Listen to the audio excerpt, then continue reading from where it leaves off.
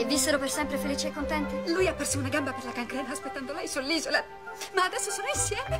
Tutti vorrebbero saper parlare d'amore come nei film. Io non vi sto corteggiando, Kate. Se lo facessi, come uomo d'onore, vi avrei informata delle mie intenzioni per iscritto. E allora devi essere l'uomo venuto dal passato. A San Valentino, dillo con Paramount. Dillo ancora. Con Kate e Leopold. Stasera alle 21.10 su Paramount Channel.